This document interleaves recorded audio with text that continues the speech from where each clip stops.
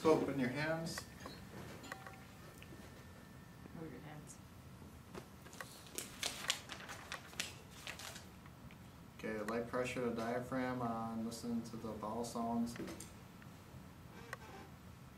And try to listen to three areas of each quadrant.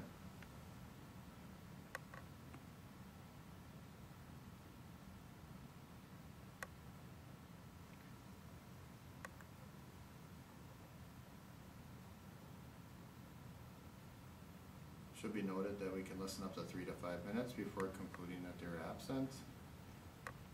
Then we'll describe our bowel sounds as audible, absent, hypoactive, or hyperactive.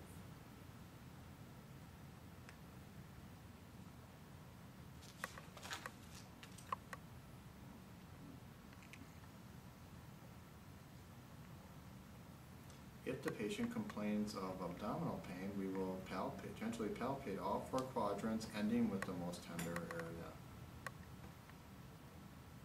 The last area you can act like is painful.